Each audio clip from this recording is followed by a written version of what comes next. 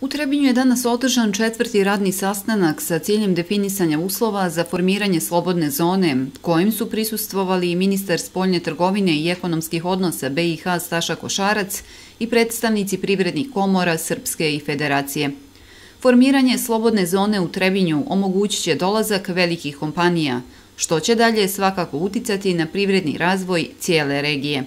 U toku je izrada elaborata, a gradonačelnik Mirko Ćurić se nada da će prva slobodna zona u Republici Srpskoj biti formirana upravo u Trebinju.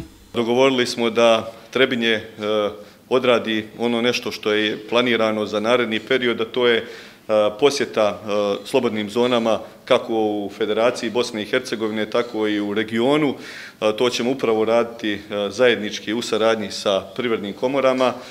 U narodnom periodu očekujemo da delegacija grada Trebinja posjeti već ove određene slobodne zone, da izdefinišemo šta je to što bi bilo neophodno da se organizuje u narodnom periodu, a po našem razmišljanju je jedna prezentacija. Ovo je odgovorna politika gradske uprave gradonačelnika da želi na prostoru Trebinja da organizuje slobodnu zonu i mislim da je to najbolji odgovor za sve privrednike, ne samo Hercegovine Republike Srpske federacije, nego i Bosne i Hercegovine, da jedno takvo mjesto jeste definitivno Trebinje. Naravno, treba istaći komparativnu prednost Trebinja iz aspekta infrastrukture, blizine Luke Ploče, Luke Bari i potencijalne izgradnje aerodroma, što će sigurno učiniti ovu slobodnu zonu jako atraktivnu, kao i mjesto Trebinje za život.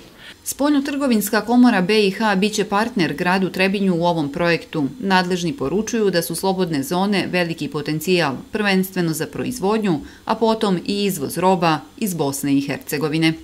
Mi ćemo dati sve naše kapacitete, dakle stručne, e, pravne, timove, ljudi koji će pomoći izradi ovakve jedne slobodne zone, ne samo elaborata i u suradnji sa susjednim zemljama osigurati kako posjete, tako i sve ono što je potrebno da bi granica što bolje funkcionirala u ovom kontekstu. Ministar Košarac i predsjednici privrednih komora u BiH obišli su i kompaniju Dineko. Ovdje ističu da je u planu širenje kapaciteta, čime će u lancu firmi ove kompanije biti zaposleno više od 750 radnika, ali i plasman proizvoda na tržište Evropske unije.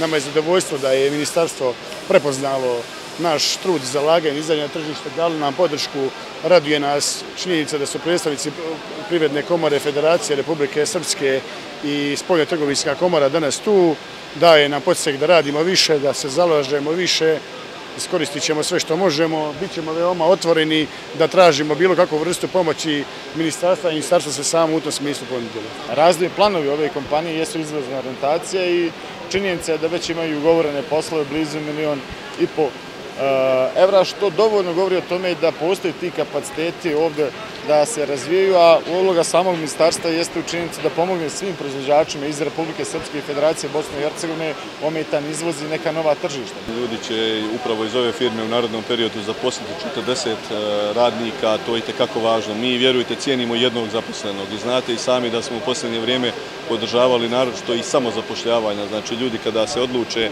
da se samo zaposle, to je jedan zaposleni, mi to i tekako cijenimo. Tako da ovo je sigurno i tekako važno i upravo grad Trebinje će u narednom periodu e, napraviti program za sve one koji zapošljavaju preko 10 radnika da im damo direktno podršku. Ministar Košarac je posjetio i vinariju Anđelić. S obzirom da se u Bosni i Hercegovini 81 kompanija bavi proizvodnjom vina, resorni ministar je zaključio da je zakon o vinu jedno od prioritetnih rješenja koje Bosna i Hercegovina mora donijeti kako bi zaštitila domaću proizvodnju i omogućila vinarima da nesmetano plasiraju proizvode na tržište Evropske unije.